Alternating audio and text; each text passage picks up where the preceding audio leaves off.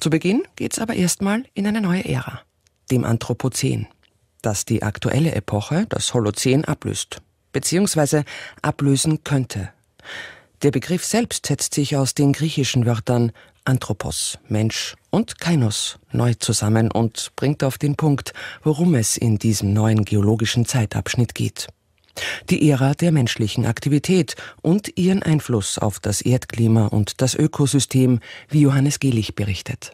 Der niederländische Atmosphärenchemiker Paul Josef Krutzen erforschte in den 1980er Jahren das Ozonloch und erhielt dafür 1995 mit den beiden Wissenschaftlern Mario Molina und Sherwood Rowland den Nobelpreis für Chemie. Der 2021 verstorbene Wissenschaftler engagierte sich jedoch auch gegen den massiven Anstieg der Treibhausgase und war zwischen 1987 und 1990 Mitglied der Enquete-Kommission des Deutschen Bundestages zum Schutz der Erdatmosphäre. Ja, ich bin Paul Krützen, ich bin emeritiert Wissenschaftler am Max-Planck-Institut für Chemie und äh, so können wir einfach nicht weitergehen. Wir müssen mit CO2 runter und wenn das nicht möglich ist, dann muss man zu wahrscheinlich äh, zu drastischen Maßnahmen kommen. Um Status quo zu erreichen, muss man sagen wir, 70 Prozent der Emissionen von CO2 äh, rausholen. Aber was man stattdessen sieht, ist nicht, dass die Emissionen von CO2 in die Atmosphäre abnehmen. Die nehmen noch weiter zu, mit etwa 3% pro Jahr. Und dann kam bei mir dann wirklich, äh, ich war wütend, dass, also, dass sowas möglich ist. Dass wir wissen genau, was wir machen sollen und tun es einfach nicht und tun es noch immer nicht. Der Wissenschaftler Krutzen wurde neben seiner Forschung über das Ozonloch jedoch auch berühmt für sein Plädoyer für die Ausrufung eines neuen Zeitalters, des Zeitalters des Menschen mit dem Namen Anthropozän. Bei der Tagung des internationalen Geosphären-Biosphären-Programms im mexikanischen Cuernavaca im Jahr 2000 soll Krutzen zum ersten Mal den Begriff des Anthropozäns vorgeschlagen haben. Mir hat er erzählt, dass er von einem Redner mehrfach den Begriff des Holozäns gehört hatte und sich dann gemeldet hatte zu einem Redebeitrag und hat gesagt, ich höre hier auch Holozän, also die geologische Epoche der letzten rund 12.000 Jahre. Ich halte das für falsch. Michael Müller hat zahlreiche Bücher über Umweltschutz und Atomenergie geschrieben und erinnert sich an seine Zeit als Mitglied der Enquete-Kommission des Deutschen Bundestages zum Schutz der Erdatmosphäre.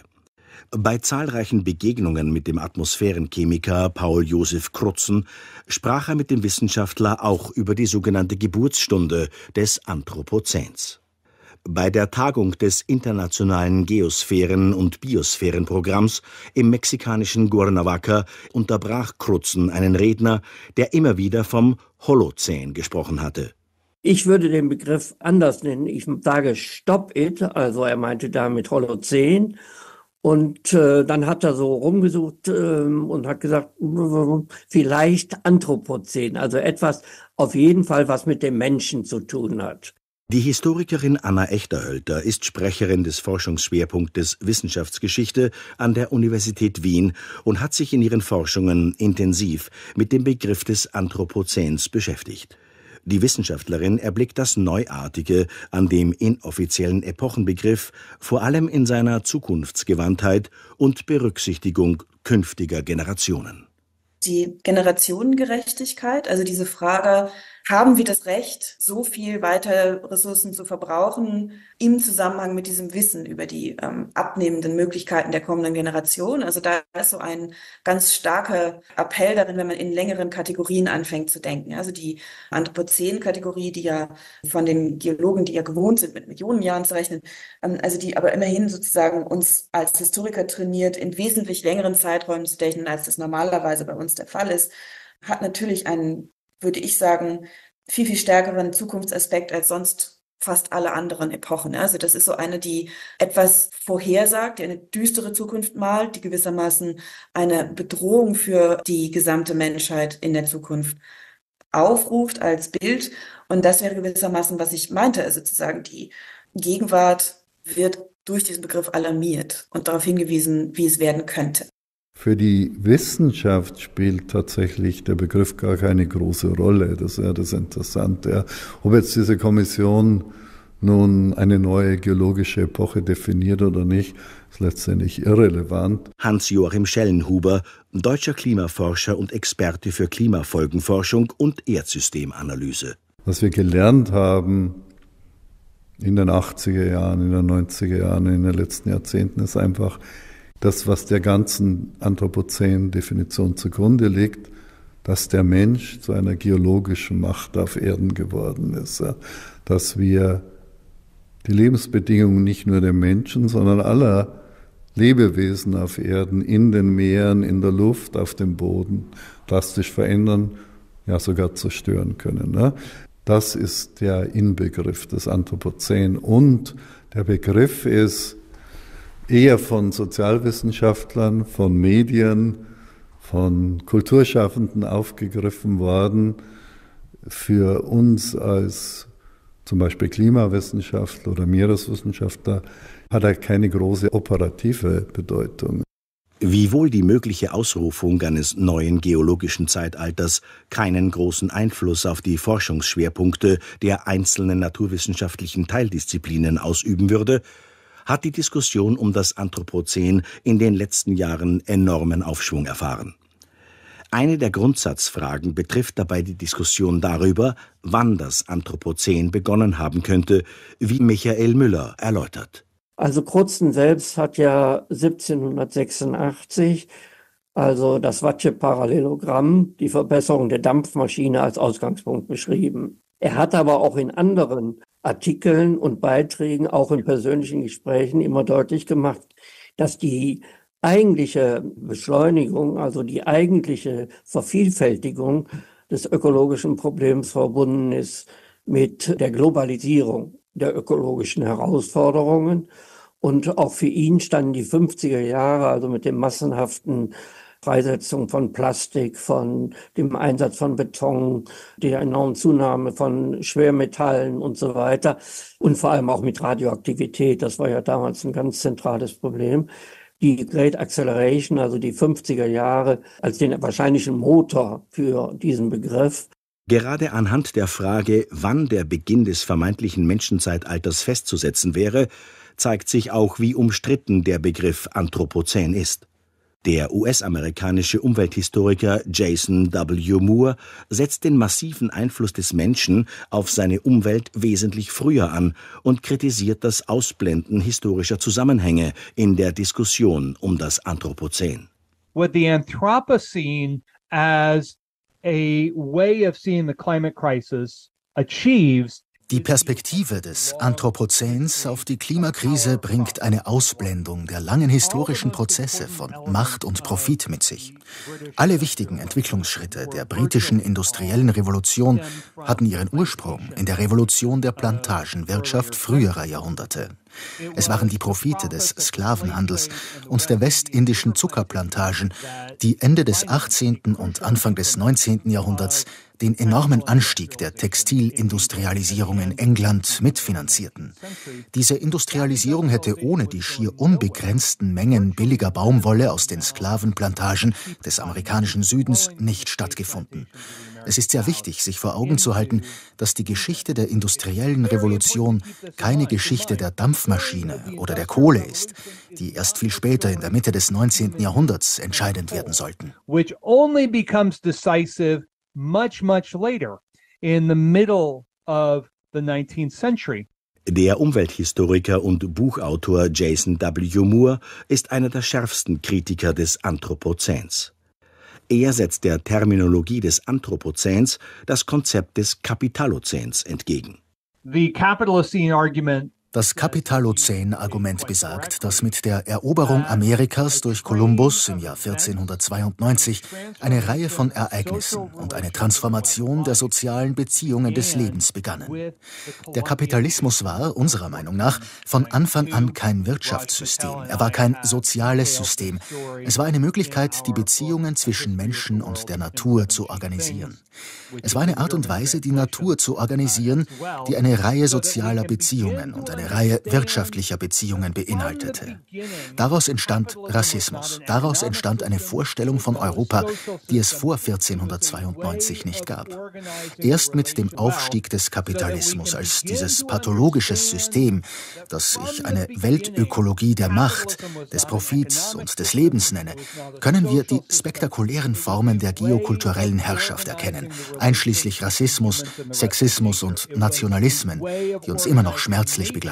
That involved a set of social relations and involved a set of economic relations. Die Terminologie des Anthropozäns zog seitens der Sozialwissenschaft bald auch die Kritik nach sich, dass es eben nicht alle Menschen bzw. die Menschheit an sich gewesen sei, die den Planeten Erde in die drohende Klimakatastrophe geführt habe. Die Wissenschaftshistorikerin Anna Echterhölter hat sich mit dieser Fragestellung beschäftigt. Da gibt es ja auch Kritiken, die sagen, gerade wenn wir das Anthropozän besprechen, dann besprechen wir eigentlich etwas Falsches. Es geht nicht um die Spezies. Es geht um bestimmte Verhaltensweisen bestimmter Elemente dieser Spezies. Ja, und das ähm, ist natürlich auch ein Problem an dem Begriff. Also auch, dass er den Menschen scheinbar ins Zentrum setzt, obwohl er ja eigentlich auch sagt, wir sind vollkommen entmachtete Gefangene unserer großen technischen Systeme, die laufen und laufen und scheinbar unaufhaltsam in den Abgrund laufen. Ähm, aber auch das ist natürlich eigentlich eine verrückte Aussage, denn nach wie vor glaube ich, dass es nicht so viel bräuchte, um das auf andere Gleise zu setzen alles. Es ist von größter Bedeutung deutlich zu machen, dass diese Entwicklungen Ungerechtigkeitsasymmetrien zur Grundlage haben. Das heißt, dass die Akteure in der Regel sogar diejenigen sind, die am wenigsten betroffen sind. Bernd Scherer, ehemaliger Leiter des Hauses der Kulturen der Welt in Berlin, ist Autor des Buches Der Angriff der Zeichen, Denkbilder und Handlungsmuster des Anthropozäns. In seinem 2022 erschienenen Buch beschreibt der Kulturphilosoph die Gefahr der indifferenzierten Verallgemeinerung, die in der Begrifflichkeit des Anthropozäns stecken würde. Es gibt diese Ungerechtigkeiten, die historischer Art sind, die aber auch noch aktuell teilweise auch noch funktionieren, weil wir sozusagen unsere Rohstoffe oft aus dem Süden unter ganz äh, prekären Bedingungen dort abbauen lassen und dann hier im Norden äh, nutzen. Und der entscheidende Punkt dabei ist, dass diese historische Dimension nicht nur eine historische ist, weil natürlich der Klimawandel durch diese Produktion im Westen vorangetrieben worden ist. Das heißt, da sind CO2-Partikel in der Luft, die auch gar nicht so schnell abbaubar sind, die alle noch vom Westen erzeugt worden sind. Das heißt, die Zuspitzung der Klimaproblematik erfolgt auf der Grundlage dessen, was wir im Westen sozusagen erzeugt haben bis zum Ende des 20. Jahrhunderts, wo dann, sage ich mal, mehr, mehr und mehr andere Länder dazu kamen. Zur Veranschaulichung der großen länderspezifischen Unterschiede an CO2-Emissionen ist ein Blick auf den sogenannten World Overshoot Day hilfreich. Bei der Statistik des Welterschöpfungstages wird der Ressourcenverbrauch einzelner Länder auf einen hypothetischen weltweiten Verbrauch hochgerechnet. Hätten demnach alle Länder der Welt denselben Ressourcenverbrauch wie Katar, wäre der World Overshoot Day und damit der nachhaltige Verbrauch von Ressourcen bereits am 9. Februar erreicht. Mit einem weltweiten Ressourcenverbrauch der USA wären am 15. März die verfügbaren erneuerbaren Rohstoffe verbraucht. In einem globalen Deutschland würde das Limit am 2. Mai erreicht werden. Nur der Ressourcenverbrauch einiger armer Länder wie Burundi, Eritrea oder Haiti steht im Einklang mit der Regenerationsfähigkeit des Planeten. Der Welterschöpfungstag, das ist ein Beispiel dafür, dass das, was die letzten 200 Jahre die Menschheit geprägt hat, nämlich der Glaube an ein schneller, höher, weiter, nicht mehr funktionieren kann. Im Gegenteil zur Selbstzerstörung führt. Michael Müller war von 2005 bis 2009 parlamentarischer Staatssekretär im deutschen Umweltministerium und beschäftigt sich seit Jahrzehnten mit Fragen der Atomkraft oder der Treibhausgasreduktion. Der Buchautor erblickt in der jahrhundertelangen Tradition der westlichen Fortschrittserzählung den Ursprung eines die Natur unterdrückenden Machtverhältnisses. Das ist sozusagen die Idee der Linearität, weil die Moderne glaubte, sie könnte jedes von sich erzeugte Problem wieder lösen. Und wenn man alle wesentlichen Vordenker der Moderne nimmt, dann haben die nie begriffen, dass die Natur gleichrangig zu sehen ist. Wenn ich beispielsweise John Locke sehe, der die wesentlichen Gründungsideen für die amerikanische Verfassung geschrieben hat, der hat beispielsweise die Natur als etwas gesehen, wenn man sie besitzt, dann ist das ein Zeichen einer Auserwähltheit. Oder auch Adam Smith hat zwar eine ganze Reihe Sachen zur Natur gesagt, aber letztlich hat er die Natur entscheidend nur als Produktionsfaktor gesehen. Oder Descartes hat nie die Endlichkeit der Natur überhaupt nur ansatzweise begriffen. Oder Bacon, da ist es vielleicht am klarsten, der spricht, Wissen ist Macht und sagt dahinter, deshalb müssen wir die Natur auf die Folterbank der Experimente legen. Der Gewissheit des westlichen Fortschrittsmodells, mit der Zunahme an Wissen könnten alle menschlichen Probleme gelöst werden, lag die Vorstellung einer linear plan- und kontrollierbaren Entwicklung zugrunde. Der Vorstellung einer berechenbaren Entwicklung der Erdgeschichte steht in Zeiten der anthropogenen Klimakatastrophe eine Realität des nicht linear, sondern exponentiell wachsenden Ressourcenverbrauchs und Temperaturanstiegs gegenüber. Damit geht eine unkontrollierbare Destabilisierung des Erdsystems einher, wie der Kulturphilosoph Bernd Scherer analysiert. Was die Erdsystemwissenschaftler feststellen konnten, ist, dass ab Mitte des 20. Jahrhunderts alle diese Entwicklungen sozusagen exponentiell wachsen und dass das äh, zur Destabilisierung des Erdsystems führt. Das heißt, die zentrale Aussage des Anthropozäns aus erdsystemwissenschaftlicher Sicht ist, dass menschliches Tun im 20. Jahrhundert und bis heute dazu führt, dass das Erdsystem selbst aus der Balance gerät. Der Verlust einer berechenbaren linearen Entwicklung bringt in den Augen des Zeichentheoretikers Bernd Scherer auch den Verlust der traditionellen linearen Zeiterfahrung und eine Überforderung unseres Wissens mit sich. Das ist ein zentraler Aspekt eigentlich äh, auch der anthropozänen Welt, dass unsere traditionellen Vorstellungen von Zeitentwicklungen ja implodieren, wenn man so will, weil alleine schon die Tatsache, dass wir auf der einen Seite die, äh, in die tiefen Zeit des Planeten gehen, also in Millionen von Jahren planetarischer Geschichte, indem wir diese fossilen Energien nutzen, die andererseits aber in unserem aktuellen Leben eine totale Beschleunigung erzeugen, sodass wir aufgrund der digitalen Welt in Jetztzeit um den Planeten kommunizieren können. Und diese permanente sozusagen online zu sein, und sich Zukunftsfragen mit Vergangenheitsfragen zu, zu verknüpfen, das führt zu dieser totalen Überforderung. Gerade auch Politiker und Politikerinnen seien heute, laut Bernd Scherer, durch die langfristigen Konsequenzen ihrer Entscheidungen überfordert. Wenn Politiker zum Beispiel auch entscheiden müssen, jetzt in relativ kürzester Zeit, wollen wir Nuklearenergie oder wollen wir nicht Nuklearenergie? Wobei wir wissen, dass Nuklearenergie nukleare Abfälle erzeugt, die Risiko über Hunderttausende von Jahren erzeugen. Dann sieht man, wie sich aufgrund dieser anthropozänen Entwicklung eine totale Überforderung unserer Wissens, aber auch ja, Entscheidungssysteme entstehen, weil wir in immer schnellerer Zeit Entscheidungen treffen müssen, die immer längerfristige Konsequenzen haben. Auch wenn das Anthropozän im August 2024 beim Internationalen Geologenkongress in Korea offiziell als neues Erdzeitalter ausgerufen werden sollte, wird die Diskussion um dessen Namensgebung nicht verstummen. Der US-amerikanische Umwelthistoriker Jason Moore will in der Terminologie des Anthropozäns eine antidemokratische Tendenz erkannt haben, die die wahren Verursacher der Klimakatastrophe verschweigt. The Anthropocene as a cultural phenomenon das Anthropozän als kulturelles Phänomen ist zutiefst antidemokratisch. Das Anthropozän ist definitiv so konzipiert, uns daran zu hindern, dem System einen Namen zu geben. Wenn Umweltschützer eine Art Endzeit-Apokalyptik beschwören, ein Denkgenre, das ich Klimapornografie nenne, dann müssen wir verstehen, dass es ideologisch dazu gedacht ist, uns in Passivität zu halten. Und um sicherzustellen, dass wir uns keinen Feind und kein System vorstellen, das für die Klimakrise verantwortlich ist. So akzeptieren wir das neoliberale Mantra vom Ende der Geschichte und dass es keine Alternative gibt. Daran ist das Anthropozän mitschuldig. This is what the Anthropocene is complicit in doing.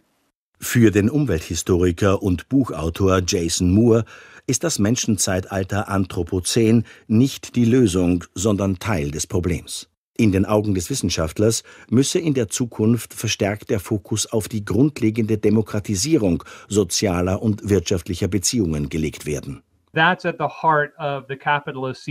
Unser Konzept des Kapitalozäns lautet, wir benennen das System, wir identifizieren die Ursache des Problems. Und anhand dieser Diagnose können wir die Struktur der zugrunde liegenden Beziehungen erkennen, die transformiert werden müssen. Das Problem sind nicht die CO2-Emissionen, die Kraftwerke. Das Problem sind die Beziehungen, die eine Pipeline oder ein Kraftwerk erzeugen. Wie können wir jene Finanzbeziehungen grundlegend demokratisieren, die Pipelines erst erschaffen? Und wie können wir stattdessen alternative Stromnetze, alternative Formen demokratischer grüner Energie schaffen? Democratic green energy.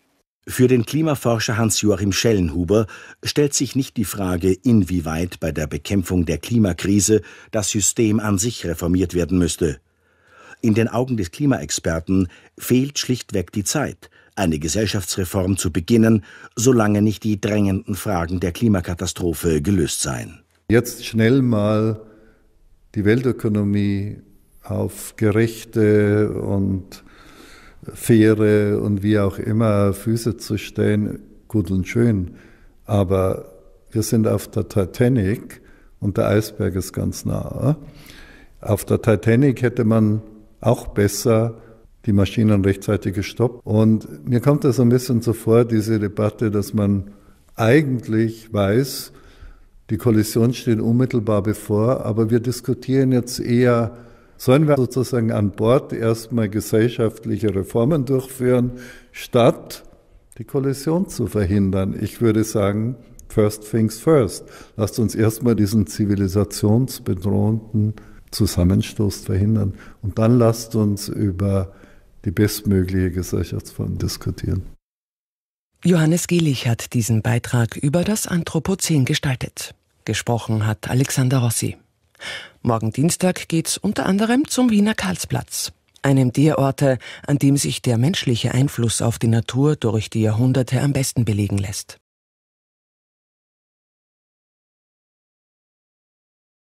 Zu Beginn widmet sich Johannes Gehlich wieder dem Anthropozän, der Epoche, die die tiefgreifenden Auswirkungen menschlicher Aktivitäten auf die Erde beschreibt.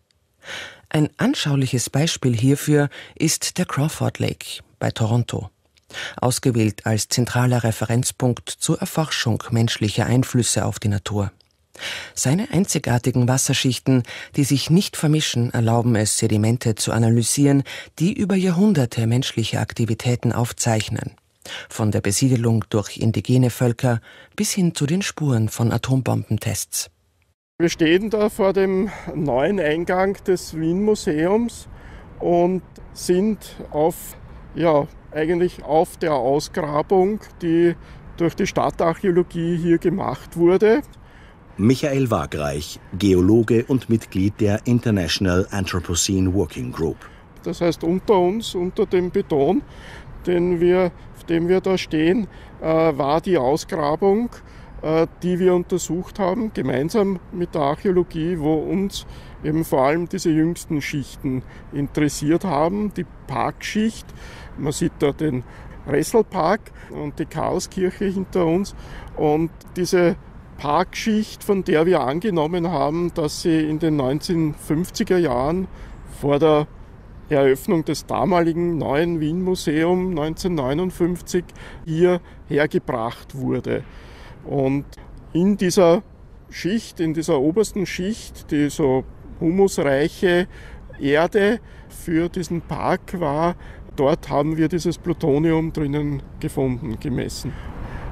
Der Wiener Karlsplatz ist für Geologen und Forscher über das Anthropozän ein gutes Pflaster. Nachdem die International Anthropocene Working Group 2009 gegründet worden war, ging es zunächst um die Frage, wann und wo man den Ausgangspunkt des noch auszurufenden Menschenzeitalters festsetzen könnte. Dabei stand auch der Karlsplatz zur Diskussion. Man hatte bei Bauarbeiten in den geologischen Schichten aus den 1950er Jahren sogenannte radioaktive Nuklide gefunden, die bei atmosphärischen Atombombentests nach dem Zweiten Weltkrieg weltweit freigeworden waren. Für den Menschen sind derartige Radionuklide aufgrund ihrer geringen Konzentration heute nicht mehr gesundheitsschädlich. Der Platz im Herzen von Wien wurde schließlich nicht als Golden Spike für das Anthropozän herangezogen, da die einzelnen geologischen Schichten, die hier im Laufe der Jahrhunderte entstanden und durch menschliche Tätigkeit aufgehäuft wurden, im Schnitt nur alle zehn Jahre erneuert wurden. Für eine exakte Analyse ist jedoch eine jährliche Ablagerung vonnöten, in der jedes einzelne Jahr wie bei einem durchgeschnittenen Baumstamm erkennbar sein sollte. Eine solche exakte geologische Zeitauflösung liefert jedoch der Crawford Lake in der kanadischen Provinz Ontario. Der Crawford Lake, der letztlich als Golden Spike ausgesucht wurde, hat den Vorteil, dass äh, jedes Jahr eine Schicht abgelagert wurde und dieser See keinen lokalen Zufluss hat, sondern der einzig und allein über die Atmosphäre gespeist wird. Und damit wird letztlich nur die globale Verunreinigung des Menschen hier abgebildet in diesem See. Der Nachteil von dem See ist, dass äh, die Schichten sind nur halber Millimeter, ein Millimeter dick. Das heißt, das gesamte Anthropozän dort ist, glaube ich, 18 Zentimeter oder so irgendwie. Und damit haben wir zumindest am Kausplatz mehr an Sedimentablagerungen aus dieser Zeit. Auch die Gewässerforscherin Helene Weigelhofer ist mit anthropogenen Einflüssen in den Gewässern konfrontiert. Gerade in den Sedimenten würden sich bisweilen vom Menschen verursachte Schadstoffe finden, die bei normalen Messungen des Wassers oft gar nicht feststellbar seien. Ich kriege dann immer wieder auch manchmal von Leuten E-Mails oder manchmal so im Gespräch, ja, ich war da immer baden, aber dann bin ich einmal hinein und ich habe eigentlich nichts gesehen, aber ich habe dann einen totalen Ausschlag gehabt. Ne? Das kann sein, das sind irgendwelche Altlasten, was auch immer da in dem Sediment drinnen ist. Wenn ich als Badender das aufwühle, wird es in die Wassersäule rückgelöst. Das heißt, all das, was wir haben, ich arbeite mit anderen Kollegen zusammen, Antibiotika, Fungizide, Pestizide, also was in unseren Gewässern drinnen ist und vor allem in den Sedimenten ist teilweise schon sehr schlimm. Und in der Wassersäule merkt man es nicht, weil es so geringe Konzentrationen sind, dass die noch nicht relevant sind. Aber im Sediment akkumuliert das einfach, häuft sich's an. Ja. Und wenn dann ein Hochwasser ist oder in Badeaktivität, wird es freigesetzt. Auf der anderen Seite war die Stickstoffproduktion so groß, dass der künstliche Stickstoff, der dann in die Böden floss, dass er zur Kontamination großer Bereiche der Erde, aber auch zum Beispiel der Ozeane führte. Bernd Scherer, Autor des Buches Der Angriff der Zeichen, Denkbilder und Handlungsmuster des Anthropozäns.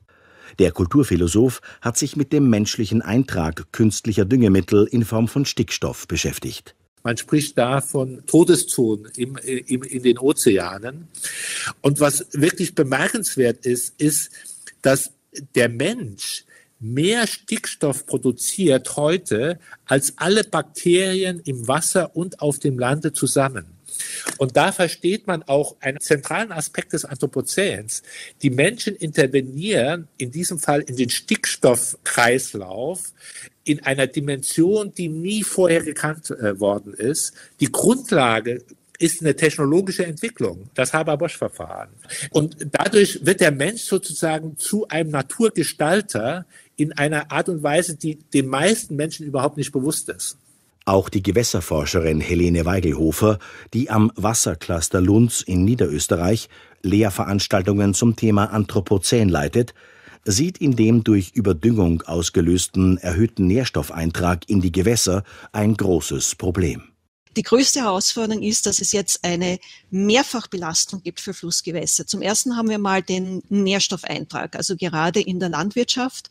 Wir haben zwar in Österreich sehr gute Kläranlagen, aber natürlich Diffuseinträge aus Siedlungen, aus landwirtschaftlichen Bereichen, die können wir nicht reinigen, die gelangen in die Fließgewässer. Dann haben wir zusätzlich zu dem jetzt diese Gewässerregulierung. Das heißt, die Gewässer werden begradigt, reguliert. Dadurch werden sie tiefer und schmäler.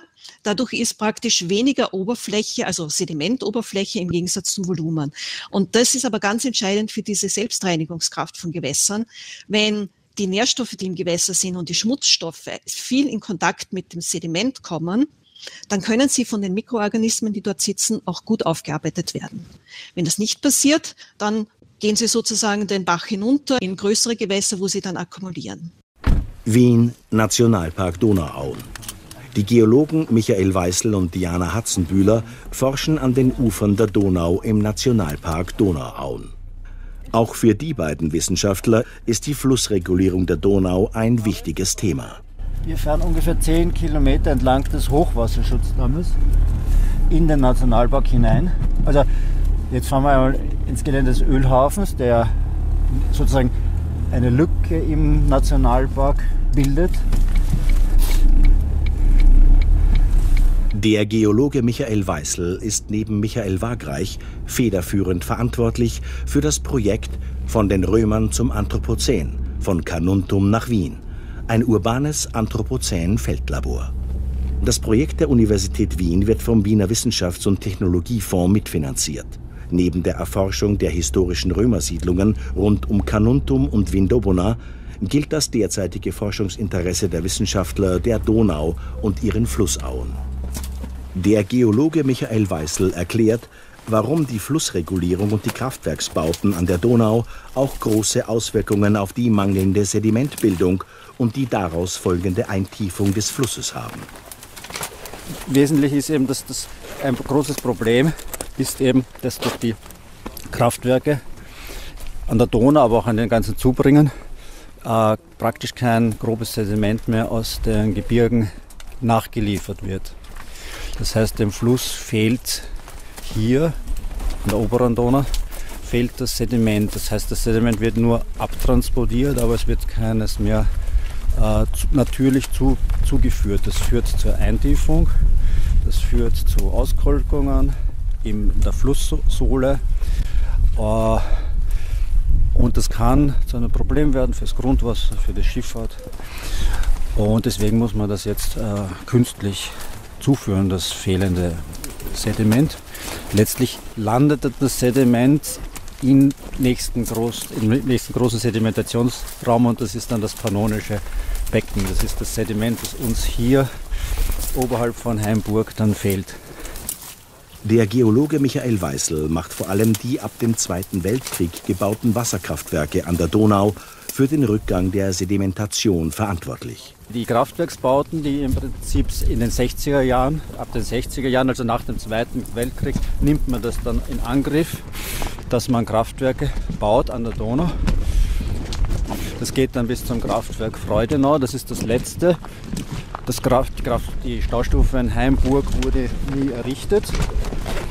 Und damit ist die ganze obere Donau durch äh, Staustufen blockiert. Also das, der Sedimenttransport wird blockiert.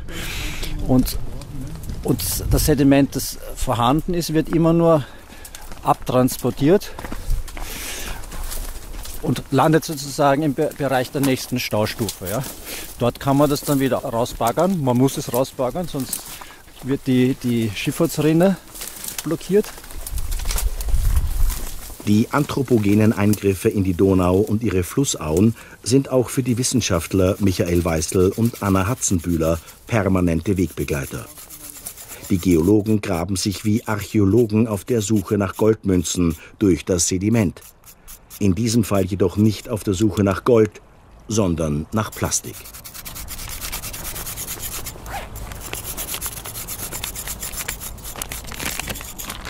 Gerade bei Hochwasserereignissen, die an der Donau fast jährlich stattfinden, transportiert das Gewässer des Flusses auch zahlreiche Plastikabfälle über tausende Kilometer weiter. Auch noch Jahre nach einem Hochwasser können Reste von Plastikverpackungen Rückschlüsse über Datierungen von Hochwassern liefern. Eine Möglichkeit, jüngere Hochwasserereignisse zu datieren, ist mit Hilfe von äh, Plastikfragmenten, die in diesen äh, Sedimenten drinstecken. Ja. Manchmal hat man Glück und findet so einen Hinweis auf, die, auf das Herstellungsdatum des Plastikobjekts, in dem Fall hier sicher zu einem jüngeren Hochwasserereignis gehörig, haben wir ein Stück von einer, von einer Wurstverpackung. Wir haben aber auch Stellen am, am, am Turnhaufen.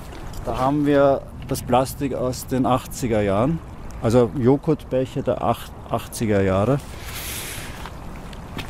Im Prinzip haben wir hier, den, haben wir hier Funde, wie man es wie, wie normalerweise nur aus der Archäologie kennt, in Form von Münzen.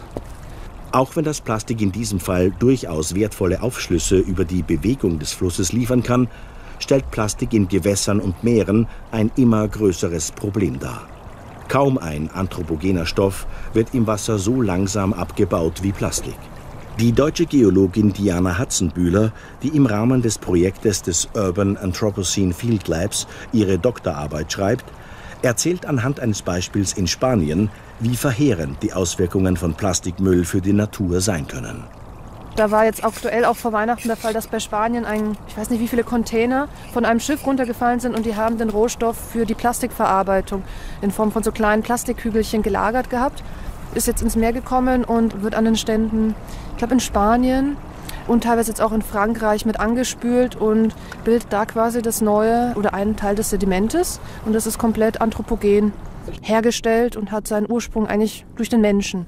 Und da ist jetzt dann die Frage, wie soll damit umgegangen werden, vor allem weil das ganze Ökosystem jetzt auch mit in Gefahr sind. Das, die Kügelchen haben die Größe von Fischeiern. Ähm, Tiere denken, das wären Fischeier, fressen diese oder auch andere Fische und dann kommt es in diesen, in unseren äh, Kreislauf mit rein und wird am Ende natürlich auch wieder bei uns, den Menschen, landen. Das heißt, ob jetzt auf, auf dem Teller ist natürlich so sehr dramatisch gedacht, aber es hängt halt auch wieder alles einfach zusammen, so dass ein kleiner Fehler und der wird sich fortpflanzen und immer schlimmer werden.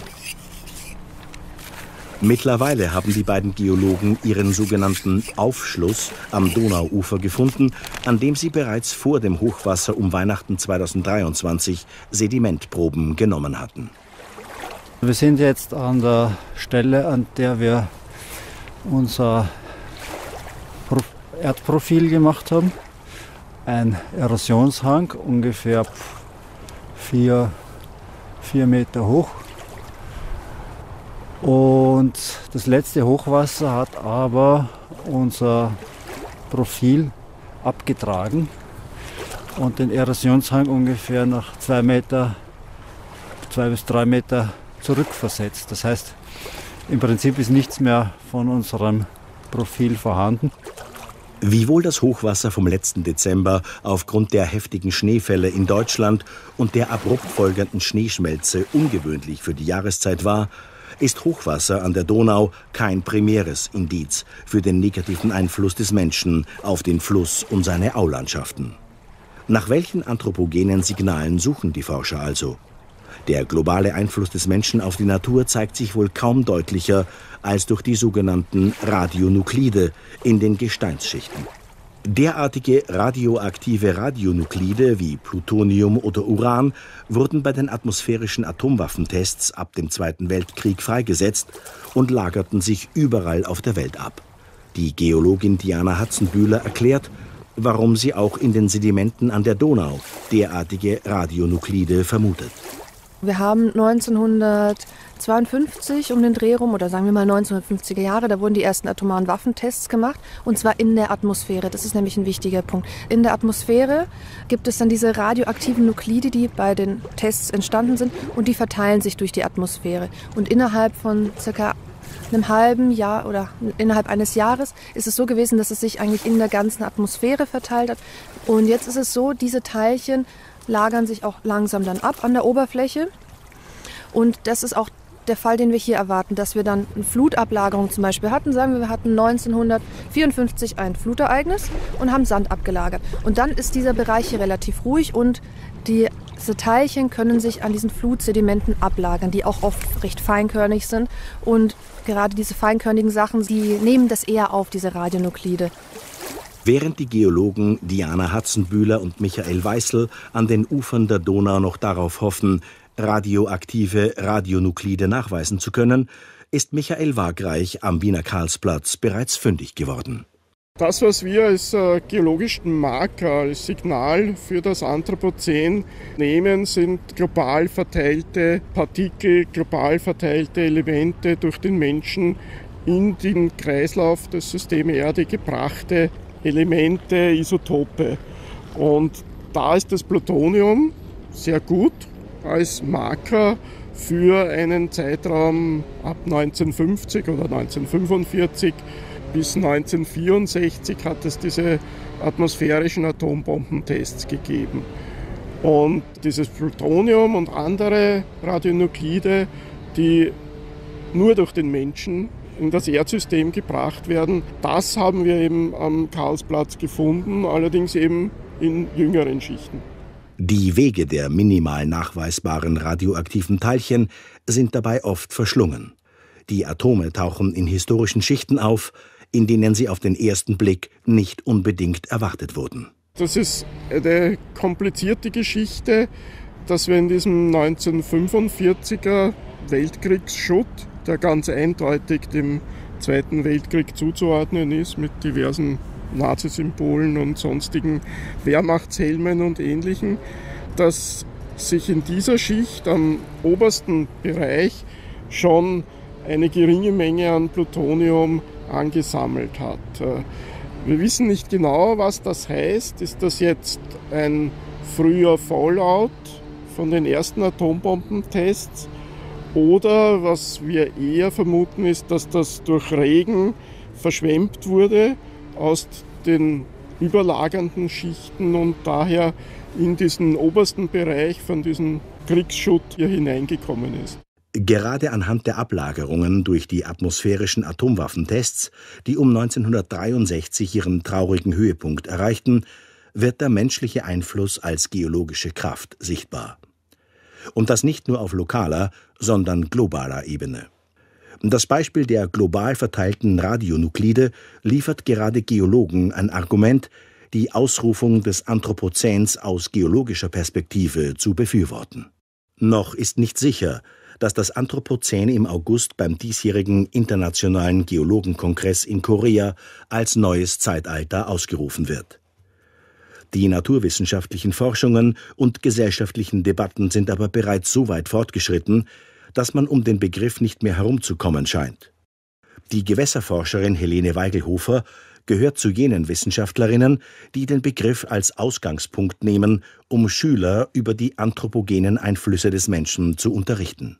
Das Anthropozän Lernen und Lehren lautet der Titel der Veranstaltungsreihe, den der Wassercluster Lunds in Zusammenarbeit mit der Pädagogischen Hochschule Niederösterreich entworfen hat. Die Gewässerforscherin Helene Weigelhofer erzählt in diesem Zusammenhang davon, wie wichtig für die Schüler und Schülerinnen der Anschauungsunterricht ist. Das Deprimierende ist, dass ich glaube, weltweit ungefähr 80 Prozent der ehemaligen Flussauen massiv degradiert sind oder überhaupt verloren gegangen sind. Und wenn man jetzt äh, mit äh, Schülerinnen und Schülern zum Beispiel hinausgeht in eine Flussau oder wenn man ihnen einfach nur Bilder zeigt, dann sehen die wenigsten die anthropogenen Eingriffe, also die Eingriffe des Menschen dort, sondern dieses Parkähnliche, ja, ist irgendwie das gewohnte Bild, das schaut für uns ästhetisch aus und eine Flussau, wo es Überschwemmung gibt, wo Totholz liegt und so weiter, ja, der so dreckig, unaufgeräumt ist, was aber der natürliche Zustand ist, die, die wird eben als oft als schmutzig empfunden. Ja? Und es braucht hier sehr, sehr viel Arbeit in solchen Flussauen, damit die Schülerinnen und Schüler zum Beispiel auch verstehen, das ist natürlich, das gehört so, das ist eigentlich der richtige Zustand und der hat auch eine wahnsinnig wichtige Funktion. Und das, was wir so als nette, schöne Flusslandschaft anschauen, das ist alles massiv reguliert. Auf dem Rückweg von den Donauauen zum Ausgangspunkt der Expedition erzählt der Geologe Michael Weißel davon, wie wenig Augenmerk in der Vergangenheit auf die Auswirkungen der menschlichen Eingriffe in die Gewässerstruktur der Donau gelegt wurde. Prozesse, die heute eine große Rolle spielen, waren vor 50 Jahren uninteressant. Das heißt, vor 50 Jahren hat man gesagt, Die Donau tieft sich ein, na und, ja, was soll's? Dann tut sie das halt. Es muss dann irgendwann ein Punkt erreicht werden, an dem man erkennt, dass die negativen Auswirkungen so gravierend sind, dass man gegen diesen Prozess was, was unternimmt. Ja. Meine, wir sehen das heute beim Klima. Äh, bei Flusssystemen ist es ähnlich. Man schaut viele Jahrzehnte zu, wie sich entwickelt und kommt dann irgendwann einmal recht spät zum Schluss. Hoppala, da müssen wir eingreifen, damit es nicht noch schlimmer wird, als es schon ist. Wenn Wasser und Erde erzählen. Johannes Gelich hat die Radiokollegreihe über das Anthropozän gestaltet. Gesprochen von Alexander Rossi.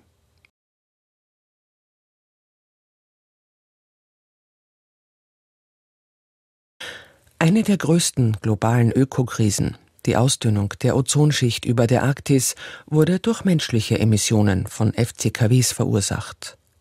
Fluor, Chlor, Kohlenwasserstoff, der in Kühlschrankkühlmitteln und Spraydosen verwendet wurde.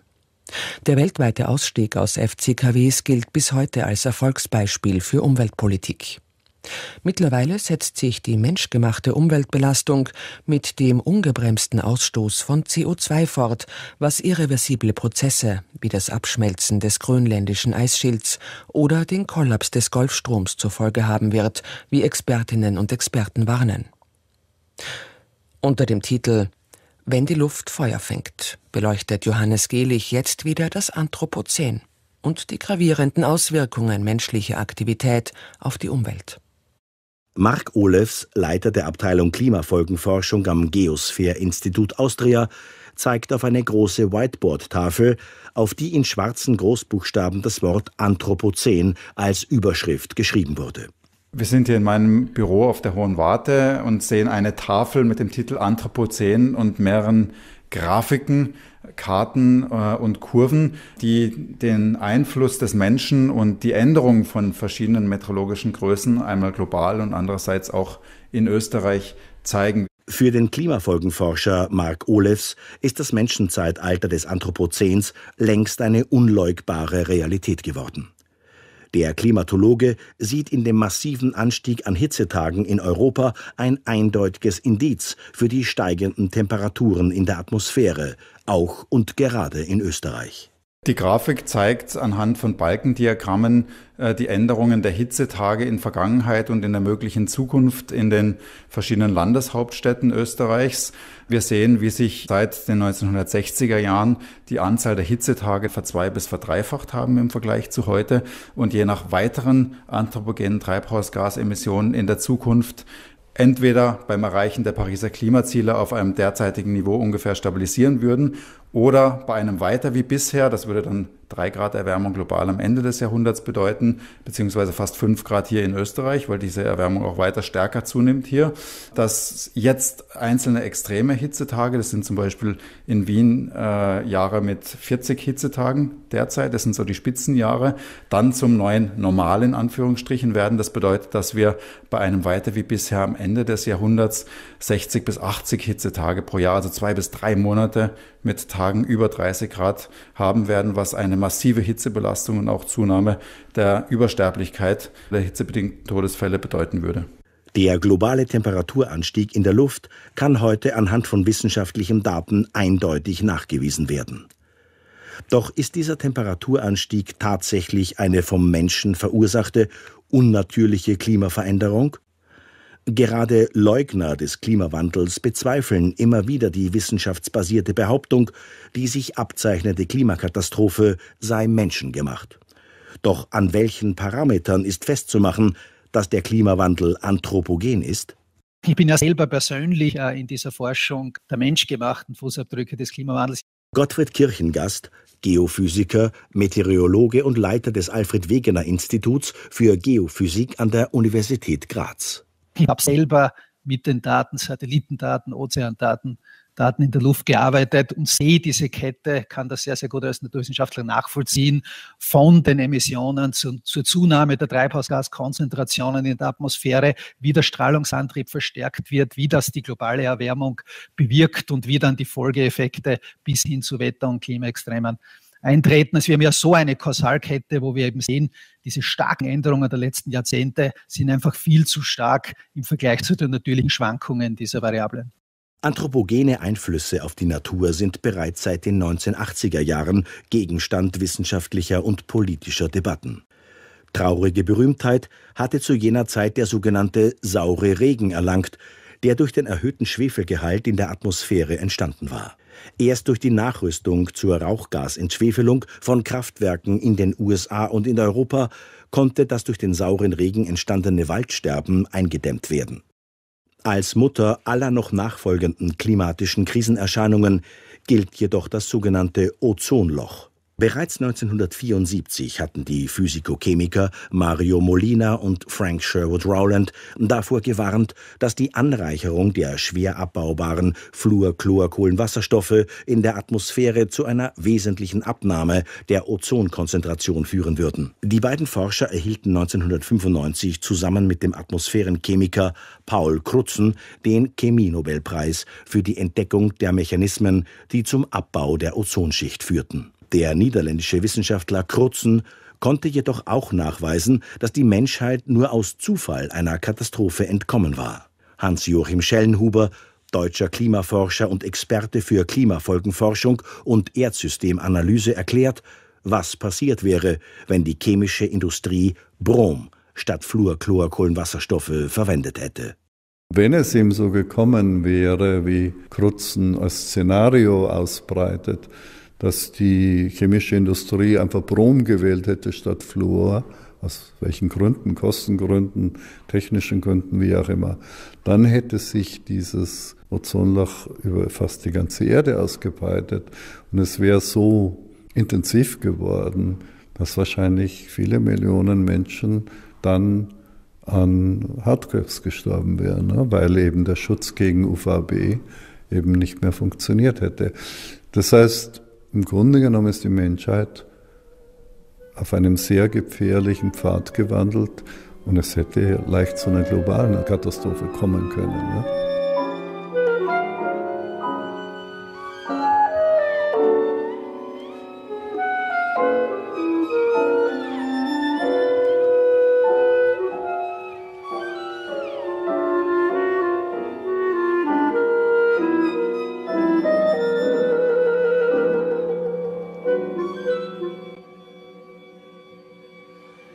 Durch ein schrittweises Verbot der Fluorchlorkohlenwasserstoffe weltweit gelang es, die Ausdehnung des Ozonlochs in der Atmosphäre einzudämmen. Die erfolgreiche Bekämpfung des Ozonloches gilt heute vielen Experten als Beispiel, dass eine Reversion der menschengemachten Umweltzerstörung durchaus auch in der praktischen Umsetzung möglich ist. Der Buchautor und Vorsitzende der Naturfreunde Deutschlands, Michael Müller, warnt jedoch vor einer derartigen Euphorie mit dem Argument, dass die sogenannte Reparatur des Ozonlochs angesichts der heutigen Herausforderungen vergleichsweise einfach war.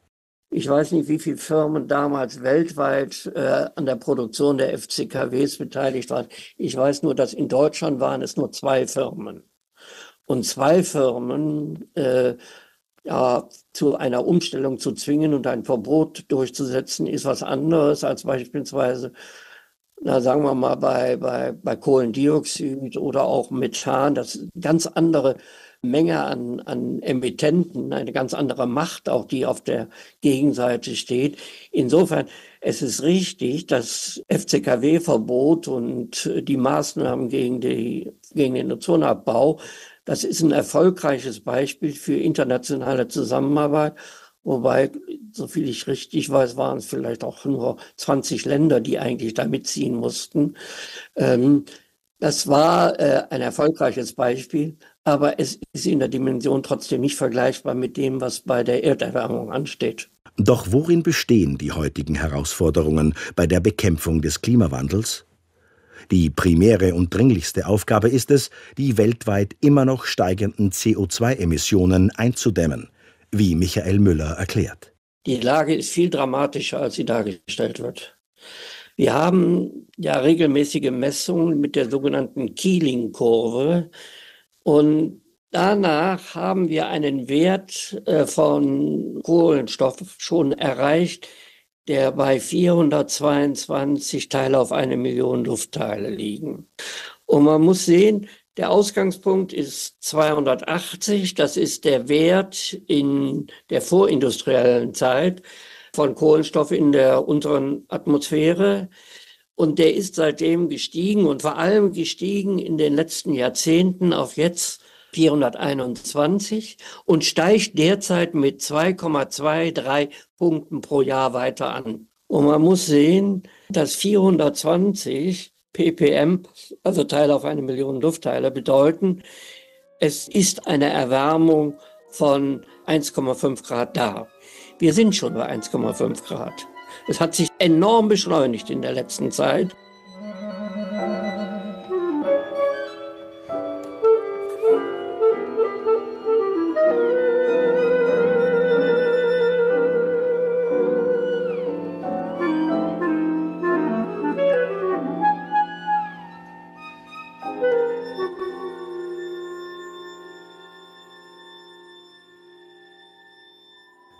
Hans-Joachim Schellenhuber, Leiter des Internationalen Instituts für angewandte Systemanalyse in Luxemburg, hält das bei der Pariser Klimakonferenz 2015 anvisierte Ziel einer maximalen Erderwärmung von 1,5 Grad für nicht realistisch.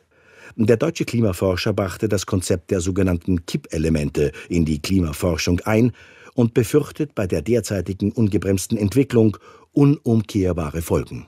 Die gefährdetsten Kippelemente sind die tropischen Korallenriffe, die wahrscheinlich oberhalb von 1,5 Grad schon absterben werden. Dann kommt aber sofort schon der grönländische Eisschild und der westantarktische. Dann kommt der Amazonas-Regenwald, dann kommen die Permafrostböden, dann kommen die borealen Wälder. Wir können also einfach zeigen, zwischen eineinhalb und zweieinhalb Grad wird eine ganze Reihe von solchen roten Linien überschritten werden. Ne? Und jetzt haben wir unser Dilemma, weil wir steuern genau auf diese Zone zu ja? und wir werden über zwei Grad hinausschießen. Das entschlossene Reagieren spielt bei der Vermeidung derartiger irreversibler Kippelemente in den Augen des Klimaforschers Schellenhuber eine entscheidende Rolle. Das Entscheidende ist, das ist der Faktor Zeit. Wenn das Überschießen wirklich nur auf einige Jahrzehnte oder ein Jahrhundert begrenzt werden könnte, dann gibt es Hoffnung, keine Gewissheit, Hoffnung, dass bestimmte Kippprozesse nicht endgültig ausgelöst werden. Ne? Ich vermute, der westantarktische Eisschild ist jetzt in Teilen schon verloren. Bei Grönland ist die Jury noch am Beraten sozusagen. Ne?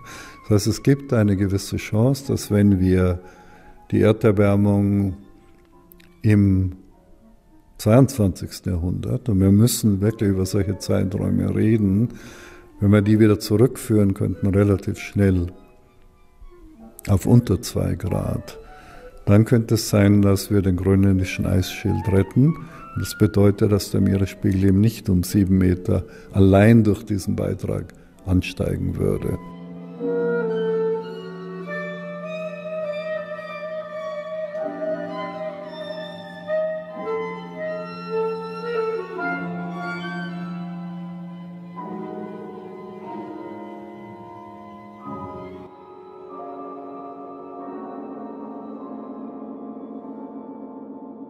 Die meisten Klimaexperten sind sich über die absehbaren Ausmaße des Temperaturanstiegs in der Atmosphäre nahezu einig. Bei einer Beibehaltung des derzeitigen weltweiten CO2-Ausstoßes würde bis zum Ende des Jahrhunderts eine Erderwärmung von 3 Grad Celsius eintreten. Aufgrund des Binnenlandcharakters und der mangelnden Abkühlung durch Meereswinde lege der prognostizierte Temperaturanstieg in Österreich bei etwa 5 Grad. Ein weiterer globaler Anstieg der Temperatur um nur ein Grad würde, so der Klimaforscher Schellenhuber, nahezu das Ende der Zivilisation bedeuten. Bei vier Grad, und das kann ich, glaube ich, mit guter Begründung sagen, weil wir haben dazu eine ganze Serie für, von Studien für die Weltbank gemacht. Ja. Bei vier Grad würde die Zivilisation, wie wir sie kennen, enden. Ende des Jahrhunderts würde ein Drittel des heute bewohnten Raumes der Erde unbewohnbar werden. Und zwar physiologisch in dem Sinn, dass sie wegen der Kombination von Temperatur und Luftfeuchtigkeit im Freien nicht mehr als ein paar Stunden überleben könnten. Das allein würde reichen, unsere Zivilisation in größte Bedrängnis zu bringen. Es würde bedeuten, dass zwei bis drei Milliarden Menschen, wir reden jetzt von Milliarden, in einen anderen Raum abwandern müssten. Im Falle eines Temperaturanstiegs um vier Grad würde durch die Schrumpfung des bewohnbaren Lebensraumes die weltweite klimagetriebene Migration unvorstellbare Ausmaße erreichen. Wenn wir hier von Milliarden reden, ich rede jetzt noch gar nicht über Ernteverluste und Überschwemmungen und was weiß ich nicht alles, die durch solche Kippprozesse ausgelöst wurden. Allein die Schrumpfung des bewohnbaren Raumes auf der Erde um ein Drittel hätte natürlich zivilisationszerstörerische Effekte.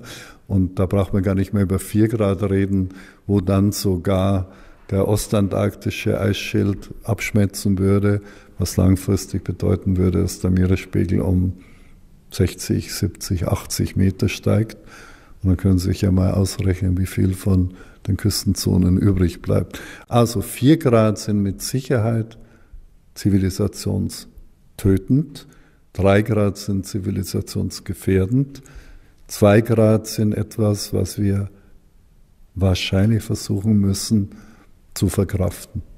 Auch der Buchautor Michael Müller, ehemaliges Mitglied der Enquete-Kommission des Deutschen Bundestages zum Schutz der Erdatmosphäre, prognostiziert eine düstere Zukunft, sollten die bei der Klimaschutzkonferenz in Paris beschlossenen Maßnahmen nicht schnellstens umgesetzt werden. Wir sind im Augenblick rasant auf dem Weg, selbst wenn ich die Pariser Beschlüsse nehmen würde und sie wären umgesetzt, also die Beschlüsse, die 2015 bei der COP, also der Conference of Parties der Vereinten Nationen vorgelegen haben, wenn ich die alle umsetzen würde, was heute nicht der Fall ist, würden wir zu den damaligen Berechnungen zu 2,8 Grad Erwärmung auf jeden Fall kommen. Wenn wir aber die Berechnungen nehmen, die vor Paris galten, dann wären es sogar 3,2 Grad gewesen. Also äh, ich will hier keine Dramatisierung herbeiführen, die überzogen wäre oder die irgendwelchen Interessen dienten, sondern einfach die wissenschaftlichen Daten führen dazu, dass man eigentlich nur sagen kann, es riecht nach Krieg. Es riecht nach Krieg. Und zwar deshalb, weil die Auswirkungen der Erderwärmung sich sehr unterschiedlich verteilen, und zwar zeitlich, regional und sozial. Bei derart pessimistischen Zukunftsprognosen besteht durchaus die Gefahr, dass weite Teile der Gesellschaft und auch der Politik resignieren und den Kampf gegen den Klimawandel für verloren erklären könnten oder als Reaktion auf derartige Endzeitszenarien die menschengemachte Klimakrise als solche überhaupt negieren würden. Wiewohl die globalen CO2-Emissionen auch im vergangenen Jahr um 1,1 Prozent gegenüber 2022 gestiegen sind, kann für Österreich eine positive Bilanz verzeichnet werden. Demnach konnte Österreich seine Emissionen im letzten Jahr um rund 7 Prozent senken, wie der Klimatologe Gottfried Kirchengast vom Wegener Center der Universität Graz bestätigt. Eine weitere Reduktion der Treibhausgase bedeutet in Österreich auch keinesfalls einen Verzicht an Lebensqualität, sondern könne über die Vermeidung sogenannter Verschwendungsemissionen erreicht werden. Unter Verschwendungsemissionen versteht man etwa die Verschwendung von Nahrungsmitteln, deren Produktion und Vernichtung global bis zu 10 Prozent der menschengemachten Treibhausgasemissionen ausmachen. Auch das Festhalten an Tempo 130 auf Autobahnen kann zu den sogenannten Verschwendungsemissionen gerechnet werden.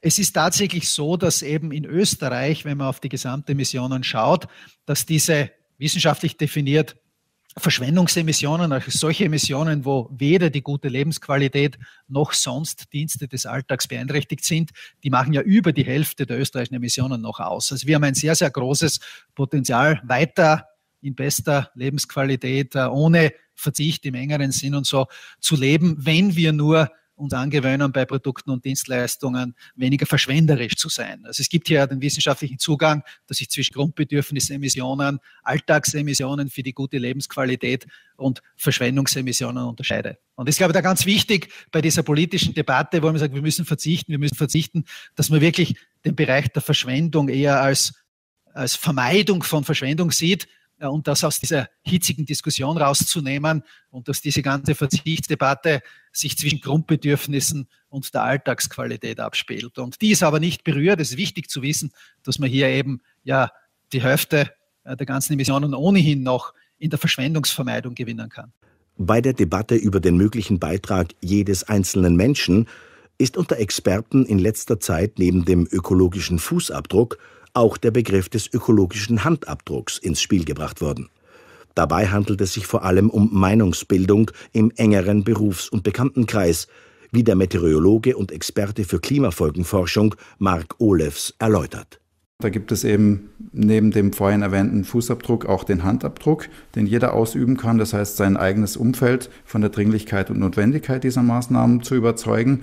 Beim Handabdruck geht es eben darum, dass ich außerhalb der Reduktion von meinen eigenen Emissionen, die ich selbst verursache, mitunter einen deutlich stärkeren Einfluss haben kann, wenn ich verschiedene Dinge in Richtung Kommunikation tue. Einerseits mit meinem Umfeld über das Problem zu reden. Warum ist es wichtig, jetzt drastische Maßnahmen zu setzen? Aber dann vor allem auch im eigenen Berufsfeld, also im, im, im Verband und so weiter, sich im Prinzip bei den politischen Vertretungen dafür einzusetzen, welche Maßnahmen wichtig sind, damit eben diese Reduktionen möglich werden und eben auch in seinem beruflichen Umfeld, Verbände und so weiter, entsprechend von der Politik diese Maßnahmen fördern. Denn wenn all diese Parteien sozusagen, all diese Sektoren ihren jeweiligen Druck ausüben, dann wird sich die politische Vertretung immer schwerer tun, dem auch zu widersagen. Bei all den politischen Maßnahmen, die in Zukunft zur Reduktion der Treibhausgasemissionen getroffen werden müssen, wäre jedoch ein genauerer Blick auf die großen sozialen Unterschiede der Emittenten vonnöten. So verweist der Geophysiker und Meteorologe Gottfried Kirchengast zu Recht auf die enormen Unterschiede zwischen den Emissionen einkommensschwacher und einkommensstarker Emittenten.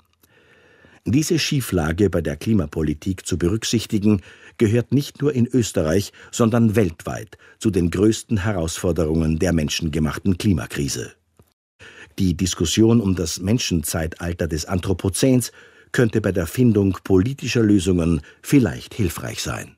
Wenn Sie zum Beispiel in Österreich oder anderen Industrieländern die Emissionen pro Million Einwohner auch nach Einkommen und Vermögen anschauen, da sehen Sie auch in Österreich, das oberste Einkommenszehntel hat siebenmal so viele Emissionen pro Million Einwohner wie das unterste Einkommenszehntel. Also so hat sich das Problem oder die Lösung auch wirklich in eine Debatte, in einen Ausgleich innerhalb der Länder verwandelt, wo es wirklich auch um Ressourcen, um wirtschaftliche Gerechtigkeit in diesem Sinn geht. Wir sollen auch Klima- und Umweltgerechtigkeit hinter der sozialen und wirtschaftlichen Gerechtigkeit haben. Aber wie ist diese Klima- und Umweltgerechtigkeit hinter der sozialen und wirtschaftlichen erreichbar, indem man schon auch die Lebensgrundlagen fairer jetzt nutzt, wo das knapper und sinnvoll ist. Und wenn Sie auf dieses Thema, auf diese Debatte von der Seite der sozialen Gerechtigkeit schauen, ist das schon sozusagen ein Wahnsinn unter Anführungszeichen, wenn man sagt, einzelne Bevölkerungsgruppen, sehr, sehr kleine, in dem Fall die reichen Menschen, haben so hohe äh, Ressourcen- und Energieverbrauche, dass wir alle dann auch unter diesen Folgen leiden. Johannes Gehlich hat die Radiokolleg-Reihe über das Anthropozän, das Zeitalter des Menschen, gestaltet. Gesprochen hat Alexander Rossi. Alle vier Teile können Sie online auf der ORF Audioplattform Sound unter sound.orf.at anhören.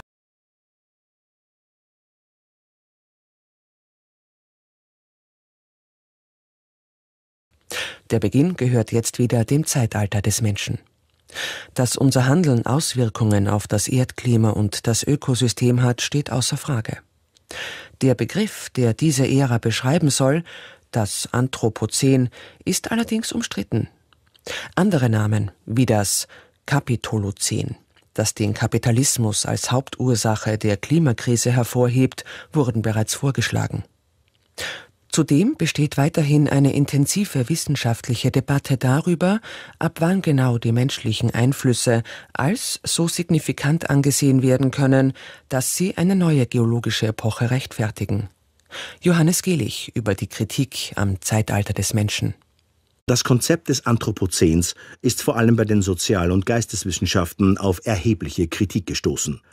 So kritisierte etwa die US-amerikanische Soziologin Eileen Christ, Das Anthropozän würde den Menschen endgültig zum Herrscher der Erde machen. Diesmal mit dem Anspruch der Reparatur. Das Anthropozän würde dadurch gerade keine Alternative zur ungehemmten Umgestaltung der Erde durch den Menschen darstellen. Doch warum soll gerade die Spezies Mensch, die so viel Unheil über die Welt gebracht hat, die Reparatur der von ihm zerstörten Natur bewerkstelligen können? Viele Kritiker des Anthropozäns spielen dabei darauf an, dass sich viele technische Errungenschaften, wie etwa der künstliche Mensch Frankensteins, am Ende als Bumerang herausgestellt haben. Mary Shelley schreibt diesen Roman zu Frankenstein 1815-16 und sie ist zu dem Zeitpunkt bei Lord Byron in der Schweiz und schreibt dann diesen Frankenstein-Roman. Das Monster, das da geschaffen wird, ist ein Mensch, der schlecht aussieht, der ästhetisch nicht ansprechend ist und so weiter und der deshalb sozial vernachlässigt wird von den anderen, äh, der nicht in der Lage ist zu interagieren mit seiner Umwelt. Und, und weil diese menschliche Wärme, Empathie von anderen Seiten ihm fehlt, wird er immer wütender und zu dem, was, was wir kennen als Frankenstein. Und das schlägt dann zurück auf den Menschen. Bernd Scherer ist Autor des Buches Der Angriff der Zeichen, Denkbilder und Handlungsmuster des Anthropozäns. Der entscheidende Aspekt im anthropozänen Kontext ist, dass die Gegenstände, die man da erzeugt hat, so groß sind, zum Beispiel in dem Fall sozusagen die gesamte Atmosphäre, dass sie destabilisierend wirken auf das gesamte System und nicht nur, sage ich mal, lokal oder regional zu einzelnen Problemen führen, sondern das ganze System erschüttern. Und die Zeichensysteme, ich erinnere an die Algorithmen der Finanzwelt, so komplex sind, dass wir gar nicht mehr sozusagen von außen verstehen, was für Prozesse da stattfinden. Und wir benutzen diese Instrumente, um die Welt zu kontrollieren, kennen aber nicht die spezifischen Logiken, die innerhalb dieser Systeme stattfinden, in ihren Auswirkungen. Der Kulturphilosoph Bernd Scherer beschreibt, dass heute sogar die Schöpfer der künstlichen Intelligenz die Sorge haben, ihre eigenen Erfindungen nicht mehr kontrollieren zu können. Das ist äh, ganz interessant, weil diese gesamten Entwicklungen der digitalen Welt kommen ja von Kalifornien und dort sitzen ja die, die Akteure, die sozusagen den meisten Zugriff haben. Und selbst die bekommen immer mehr Angst. Also man hat ja jetzt diese Diskussion um KI äh, verfolgen können, dass da Systeme gebaut werden, die sich von uns lösen und wo wir keinen Zugriff mehr haben und die dann genau im Bild der Frankenstein-Metapher dann auf uns zurückschlagen, weil, weil sie außer Kontrolle sind. Die Frage, inwieweit der Mensch in der Lage ist, seine eigenen technischen Erfindungen zu kontrollieren, ist ein immer wiederkehrendes Motiv in der Literatur und Kunstgeschichte.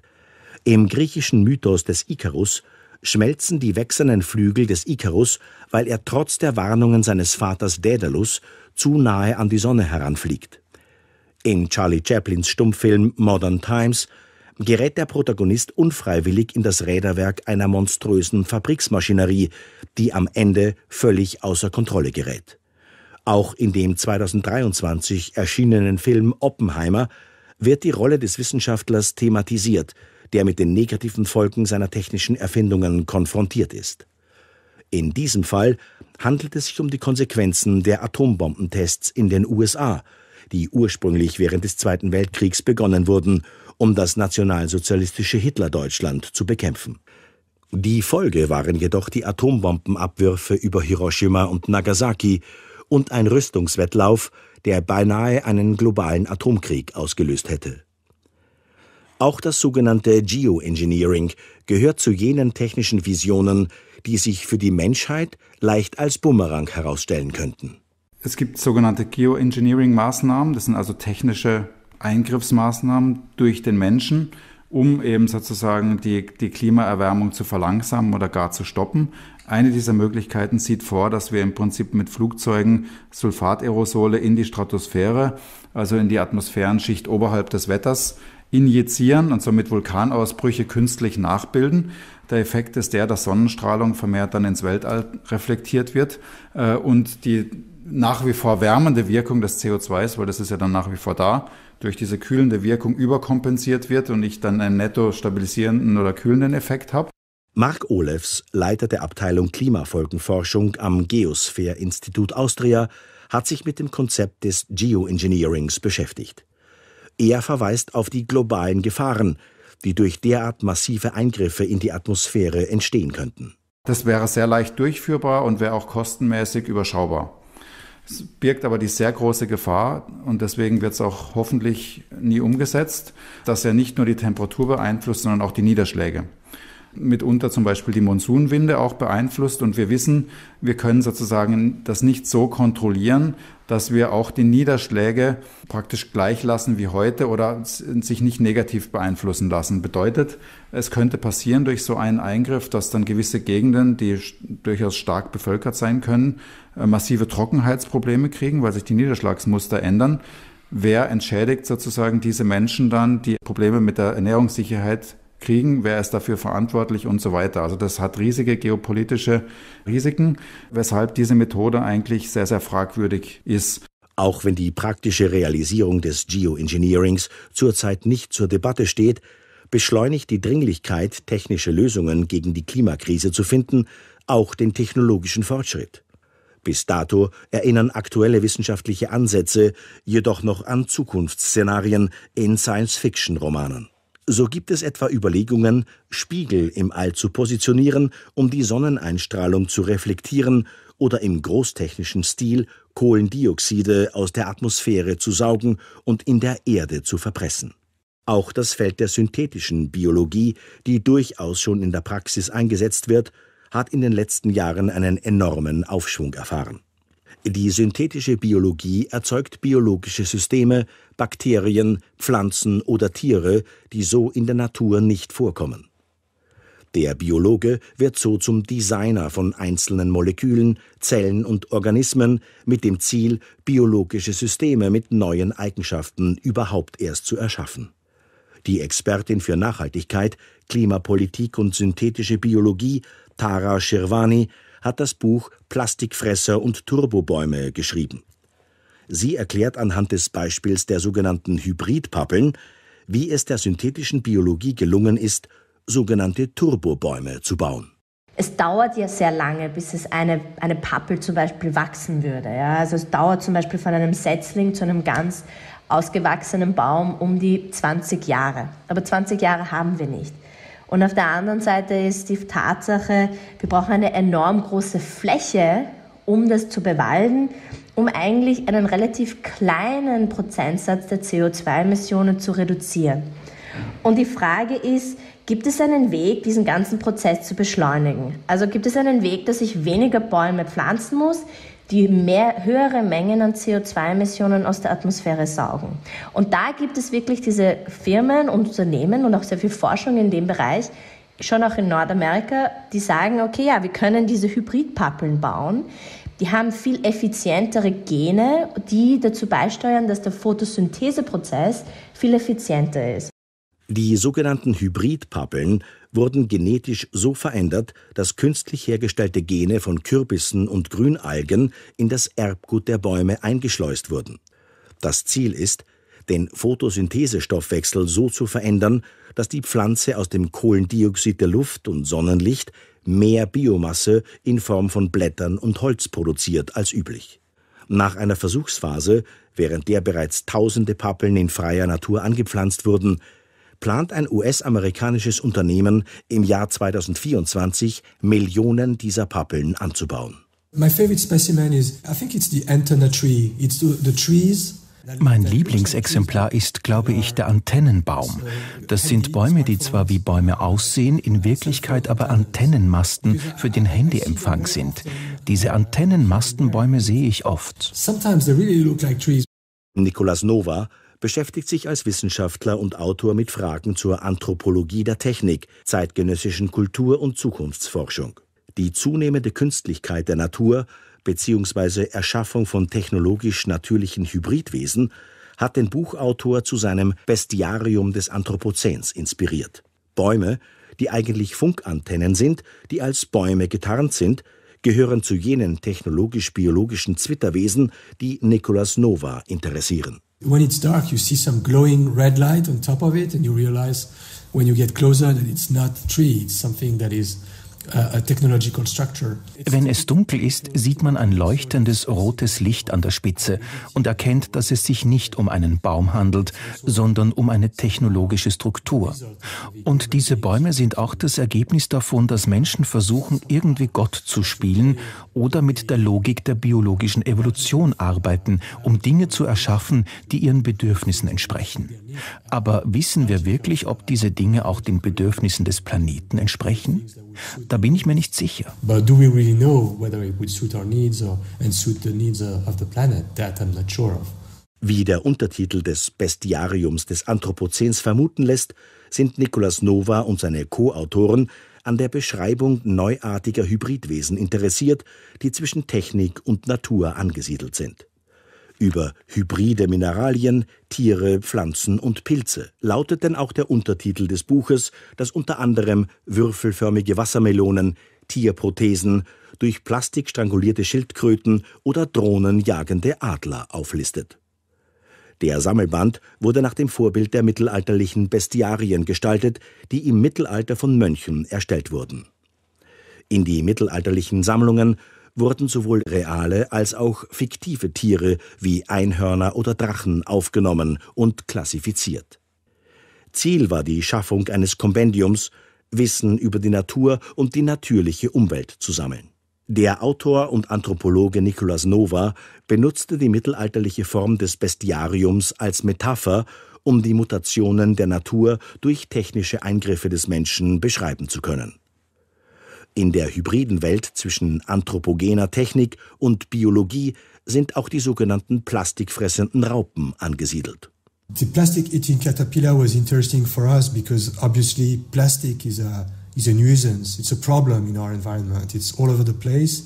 Die plastikfressende Raupe war für uns interessant, weil Plastik offensichtlich eine Plage ist, ein Problem in unserer Umwelt. Es ist überall. Und in letzter Zeit wurde viel darüber geforscht, wie man Plastik beseitigen oder loswerden kann. In diesem Kontext gibt es einige Untersuchungen über bestimmte Arten von Raupen, die in der Lage sind, Plastik zu fressen und zu verdauen und es in etwas umzuwandeln, das nicht allzu schädlich für die Umwelt ist. Deshalb dachten wir, diese Art von neuen Lebewesen, die die Probleme des Anthropozäns zu lösen helfen, zu thematisieren. Aber es ist natürlich seltsam, denn Plastik ist ein synthetisches Material, also ist es seltsam, in einer Welt zu leben, wo wir nachdenken müssen, dass Tiere wie Raupen diese Art von Material fressen könnten. Animals such as caterpillar that could eat this kind of material.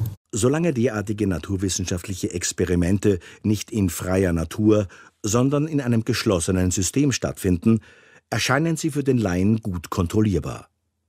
Doch was passiert, wenn derartige Mutationen im Meer ausgesetzt werden, wofür sie eigentlich erschaffen wurden? That's the sort of ambivalence we were also interested in. Das ist die Art von Ambivalenz, die auch uns interessierte. Wir haben diese neue Art von Lebewesen, die plastikfressende Raupe, die auf den ersten Blick interessant erscheint. Aber sind wir sicher, dass am Ende etwas Gutes dabei herauskommt? Sind wir sicher, dass es keine schrecklichen Folgen haben wird, wenn diese Lebewesen einfach in der Natur ausgesetzt werden? In den Medien, die über derartige Wissensgebiete berichten, gibt es die Vorstellung, dass es Lösungen wie diese geben könnte.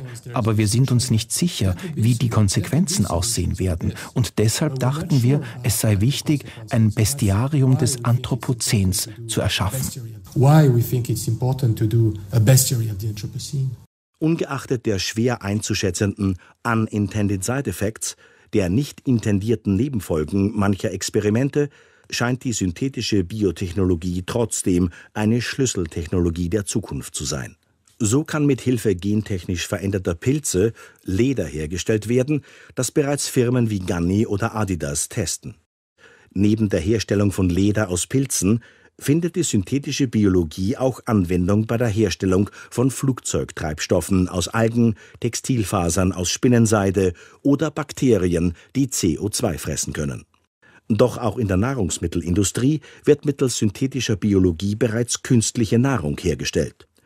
Die synthetische Herstellung von Fleisch wird von manchen Experten als Möglichkeit gesehen, den von Kühen erzeugten massiven Treibhausgasausstoß in Form von Methan zu reduzieren. Die Buchautorin Tara Shirwani beschreibt die Herstellung von Fleisch durch synthetische Biologie anhand eines Beispiels. Das bekannteste Beispiel ist natürlich der Impossible Burger. Ja, das ist dieser alternative Rindfleischburger, den es jetzt auch schon im Markt gibt. Dort sind natürlich einige der Nährstoffe schon komplett synthetisch hergestellt und auch die Farbe des Blutes von diesem Burger ist synthetisch hergestellt. Und da, also, also der Geschmack ist eigentlich fast schon ident, was, was wirklich beeindruckend ist. Mittlerweile können sowohl Meereskrustentiere, Fleisch oder Milch durch synthetische Biologie im Labor künstlich hergestellt werden. Viele Experten und Expertinnen erhoffen sich davon, dass in naher Zukunft die natürliche Viehzucht weltweit erheblich reduziert werden könnte. Die dadurch frei gewordenen Weideflächen könnten so aufgeforstet werden und aktiv zum Klimaschutz beitragen. Auch wenn derartige Lösungen, die Menschheit durch Fleisch aus dem Labor zu ernähren, in Zukunft vielleicht relevant werden könnten, sind im Zeitalter des Anthropozäns jedoch sofortige politische Maßnahmen zur Eindämmung des Klimawandels gefordert. Klimakonferenzen der UN, die laufen immer nach demselben Mechanismus ab. Am Beginn wird gesagt, wie wichtig die Konferenz ist, was da notwendig ist. Während der Konferenz wird dann gesagt, nein, wir schaffen nichts, es passiert nichts. Und am Ende wird gesagt, ja, aber jetzt haben wir ein paar Perspektiven für die nächste Konferenz. Und das erlebe ich jetzt schon seit 28 Konferenzen. Und ich muss sagen, das kotzt mich an, auf Deutsch gesagt. Michael Müller, Buchautor und ehemaliges Mitglied der Enquete-Kommission des Deutschen Bundestages zum Schutz der Erdatmosphäre. Der Widerspruch zwischen Wissen und Handeln wird immer größer. Und deshalb finde ich, hatte das Anthropozän eine Chance. Wenn das Anthropozän politisch aufgegriffen würde, also gesagt hat, wir müssen uns orientieren an einer Politik, die sozusagen den Menschen wieder ins Zentrum stellt, in seiner Verantwortung, in seinen Handlungsfähigkeiten, dann ist das eine andere Geschichte als die, die wir heute haben. Im Augenblick diskutieren wir bei der Klimakrise nur über Anpassung. Viele Länder der Erde können sich gar nicht anpassen. Es geht gar nicht. Aus finanziellen Gründen, aus geografischen Gründen, aus, aus technischen Gründen. Also beispielsweise Bangladesch liegt auf derselben Höhe wie die Niederlande. Die Niederlande kann sich begrenzt schützen durch technische Möglichkeiten und finanzielle Möglichkeiten. Bangladesch, ich weiß nicht, wer das machen sollte. Die derzeitigen klimapolitischen Maßnahmen reichen bei weitem nicht aus, das angestrebte Ziel der Begrenzung des globalen Temperaturanstiegs auf 1,5 Grad zu erreichen. Deswegen hoffen manche Experten, der Epochenbegriff des Anthropozäns könne die Brisanz des Klimawandels verstärkt in den medialen Fokus der Aufmerksamkeit rücken. Gerade die Zukunftsgewandtheit und Berücksichtigung künftiger Generationen, die dem Erdzeitalter des Menschen eingeschrieben ist, wird in diesem Zusammenhang positiv gesehen. Die Erinnerung an die anthropogenen Einflüsse des Menschen auf Natur und Umwelt beinhaltet in der Tat auch einen Zukunftsappell an die Menschheit, umzudenken und einen anderen Umgang mit der Natur anzustreben. In Anlehnung an diesen Zukunftsaspekt wird von Politikwissenschaftlern wie Jörg Tremmel die Einführung eines Zukunftsrates als vierte Gewalt gefordert. Bisher funktioniert unsere Demokratie ganz gut mit den drei Gewalten Legislative, Exekutive und Judikative. Und was ich hinzufügen möchte, ist eine Vierte Gewalt, eine konsultative. Und diese konsultative soll uns eben helfen, diese existenziellen Risiken im Anthropozän zu bewältigen. Und hier würde ich eben gerne ergänzen, dass auch der Zukunftsrat Gesetzesvorlagen einbringen darf. Ich möchte ja diesem Gremium kein Vetorecht geben, sondern ein Vorschlagsrecht. Sozusagen ja, eine konstruktive Rolle, wo dann eben auch die Medien einsteigen könnten und sagen können, hey, das hat dieser Zukunftsrat vorgeschlagen für mehr Langfristigkeit und das letzte Wort müssen aber die gewählten Parlamentarier behalten. Auch in Österreich gibt es eine Gruppe von Wissenschaftlern und Kuratorinnen wie Alexa Ferber, Alexander Martos oder Herbert Justnik, die die Installierung einer Zukunftsinstanz in Form eines Klimarechnungshofes vorschlagen, wie die ebenso involvierte Wissenschaftshistorikerin Anna Echterhölter erläutert. Da Nehmen wir Bezug auf dieses Klimavolksbegehren, das österreichische, also die Idee, dass man viel mehr Klimagesetzgebung zunächst einmal bräuchte, dass man einen um, Reduktionspfad für CO2 definieren muss, all solche Dinge. Ähm, diese Institution, ähm, die wir da aber vorwegnehmen oder die wir gründen wollen im Modus eines Pre-Enactments, diese Institution ist eigentlich so gedacht. Also wie der Finanzrechnungshof das finanzielle Gewissen der Republik ist, wäre der Klimarechnungshof tatsächlich eine Instanz, die mit allem technischen, ökonomischen, naturwissenschaftlichen und geistes- und sozialwissenschaftlichen Wissen überprüft, was die politischen Maßnahmen eigentlich für Konsequenzen haben, wie sie zu Buche schlagen. Die menschlichen Eingriffe in Natur und Umwelt sind heute so einschneidend und zerstörerisch, dass die Ausrufung des globalen Menschenzeitalters Anthropozän nur folgerichtig erscheint. Das Fortschreiten der Erderwärmung erfordert schnelle und langfristige technische und politische Maßnahmen, die über den Zeithorizont der nächsten Legislaturperiode hinausreichen müssen. Ansonsten wird es dem Menschen wie dem sprichwörtlichen Frosch im Kochtopf ergehen, wie Jörg Tremmel, Professor an der Eberhard Karls Universität in Tübingen, beschreibt. Wir haben aber eben schleichende Risiken, die über die Dauer einer Legislaturperiode hinausgehen. Das ist etwa der demografische Wandel, wo dann immer mehr äh, Pensionisten, immer weniger Beitragszahlern gegenüberstehen. Und das ist eher in einer Perspektive von 20 Jahren. Und deswegen wünsche ich mir, dass neben diesem kurzfristigen Programm jede neue Regierung auch sozusagen ein 20-Jahre-Programm vorlegt für den Fall, äh, dass sie eine so lange Amtszeit hätte damit einfach dann nicht diese Probleme immer weiter in die Zukunft verschoben werden. Das Ähnliche ist ja beim Klimawandel. Auch da gibt es jedes Jahr einen kleinen graduellen Anstieg und es ist schon oft das Bild bemüht worden von dem Frosch, der also nicht merkt, dass er gekocht wird, bis es irgendwann zu heiß ist und das Wasserglas, in dem er sitzt, zu brodeln beginnt und, und er dann nicht mehr rausspringen kann. Insofern brauchen wir einfach diese Langfristperspektive im Regierungshandeln. Und das würde diesen Zukunftsrat auch nochmal ergänzen sollen.